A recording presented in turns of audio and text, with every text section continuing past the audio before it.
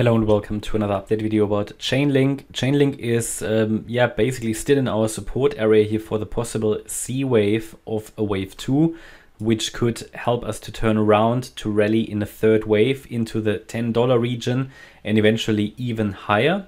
Um, so this is the key support area. It did find support at the golden ratio, a little bit like Bitcoin, Ethereum here, uh, but not on the weekend. It was actually yesterday it found support there at 721. So far it is attempting to turn around, but nothing substantial. I would at least like to see that it rallies above the previous, what I have labeled as a wave 4 high, which is here at 754, uh, before I start to talk about its reversing.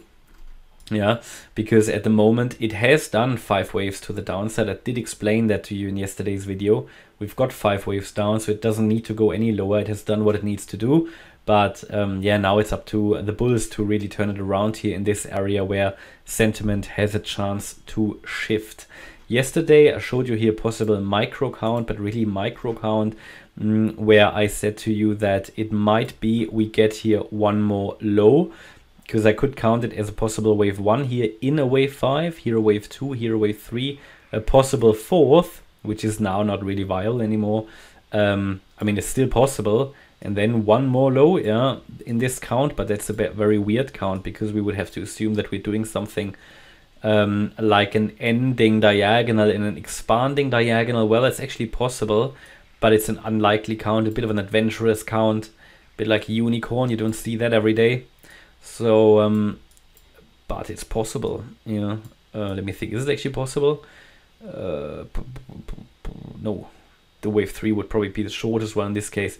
Nah, not really. I mean, other possibilities, but again, bear in mind this is really just the micro count here. I wouldn't pay too much, um, wouldn't wouldn't waste too much brain power on a micro count because especially in a volatile market like crypto, you sometimes see distortions. What's more relevant is really, you know, do you do you hit these key support areas and not to be too academic about the count, but certainly another possibility would be that this wave 4 is maybe still running, yeah, that we moved up here, and that's actually possible, as we moved up here in three waves, can you see that? A, B, C could have been the A wave of the fourth wave. We then came down in an A, B, C in a B wave, and it did undershoot the previous wave 3 low. That's actually possible because the A wave was three waves the B wave is three waves as well, it, it, it looks like either a running flat or expanded flat pattern. And now we could be moving up in a C wave of the fourth wave, yeah.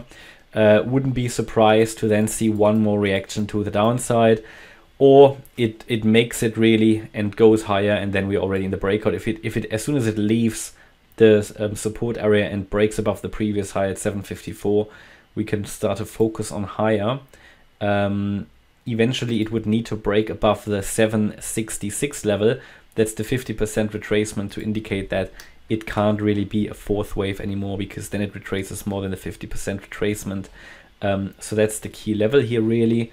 Yeah, but until then it could still be a wave four. Um, that's absolutely possible because the move down, in my opinion, was only in three waves. Okay, so one more low is actually not too unlikely, but I wouldn't necessarily, you know, if you wanted to trade this, I wouldn't I wouldn't wait for the lowest low to occur um, because sometimes it doesn't happen. You know, sometimes it just doesn't happen. So that could still work out here as a fourth wave before coming down. Um, we can also calculate, you know, sort of assuming this is correct, that this is still the fourth wave. What would be a target? Well, you can see here where it points towards the one-to-one ratio. 749 wouldn't be surprised to see some reaction there and possibly come down. But um, again, this is really just a micro level to give you a bit of an orientation of what could happen here. Uh, important is the key support area, the turnaround point, the um, pivot point. That's what can be traded. If it breaks, it breaks, but then low risk, high reward. Okay. Um, not every trade works out. That's what it is. Here we had a good track record on Link. This one worked out. Rallied into resistance, came down. This one worked out. Rallied into resistance, comes down. Maybe this one works out as well. We'll see. Keep focusing on it. Hope you liked the update about Link. If you did, please hit the like button, leave a comment, and subscribe. And if you really like the content, then please check out the channel membership. Thanks a lot for watching. Bye bye.